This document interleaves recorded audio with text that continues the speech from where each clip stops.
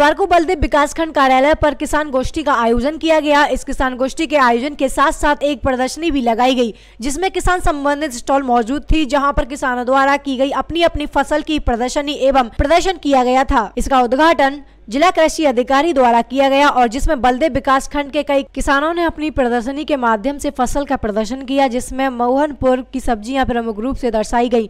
साथ ही किसानों को किस तरह से अपनी फ़सल को उत्पन्न और अच्छी फ़सल बनाना है इस संबंध में जानकारियाँ वहाँ पर कृषि अधिकारियों द्वारा किसानों को दी गई आपका शुभ नाम? डॉक्टर राम तेज यादव जिला कृषि अधिकारी।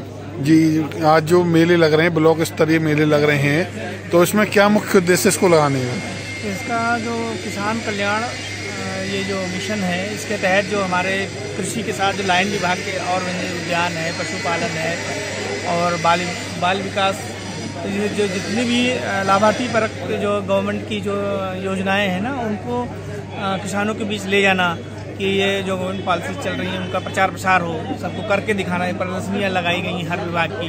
और हर विभाग के वक्ता आए हुए हैं स्पेशलिस्ट भी आए हैं कृषि विज्ञान केंद्र के। तो वो इस क्षेत्र में कृषि के विकास के लिए कौन कौन सी योजनाएँ चल रही हैं, उसके बारे में विस्तार से चर्चा की जा रही है। तो इसमें जो सब्ज़ी उगाई जा रही है, उसके बारे में यहाँ पर कुछ सैंपल भी रखे गए हैं, प्रदर्शनी भी लगाई गई है। तो उसका मुख्य उद्देश्य क्या प्रदर्शनी से कि किस तरह की सब्ज़ी कहाँ से कैसे आती है? ये सब्ज़ी उद्यान विभाग द्वारा अनुदान पे इनको जो है बीज उपलब्ध कराया गया था। तो जो विभाग द्वारा जो छूट दी जा रही है उससे लाभान्वित होकर ये अपना उत्पाद यहाँ प्रदर्शनी के रूप में रखा हुआ है।